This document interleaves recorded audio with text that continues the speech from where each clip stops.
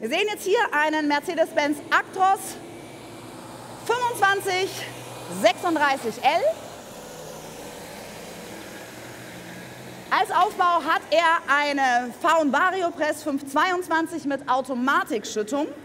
Und bei dem Modell möchte ich einen ganz wichtigen Punkt, kommen Sie ruhig ran, Sie dürfen auch gerne hier vorne auf den überdachten äh, Logenplätzen Platz nehmen, ähm, haben wir vor allem Punkt, den Punkt Sicherheit mal hervorgehoben. Denn was er hat, ist zum Beispiel ein Active Brake Assist System 5, was nicht nur hilft, Unfälle zu vermeiden, sondern stehende und fahrende Fahrzeuge selbstständig erkennt, genauso wie bewegte Personen und den Fahrer dann auch dafür warnt.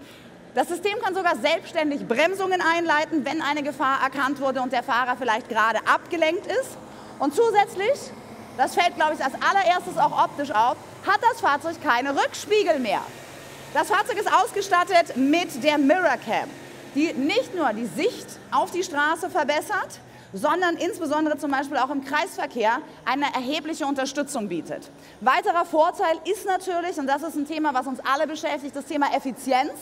Wir haben natürlich einen wirklich auch deutlich geringeren Luftwiderstand durch den Verzicht auf die Rückspiegel und damit natürlich auch eine Kraftstoffersparnis. Dann haben wir auch noch mit dabei einen Abbiegeassistenten, der, wie der Name schon vermuten lässt, natürlich beim Abbiegen unterstützt, was natürlich insbesondere in Innenstädten von Vorteil ist, aber eben auch beim Spurwechsel. Auch der erkennt Radfahrer, Personen, Fahrzeuge und warnt den Fahrer auch akustisch und optisch und bremst ebenfalls selbstständig, wenn nötig.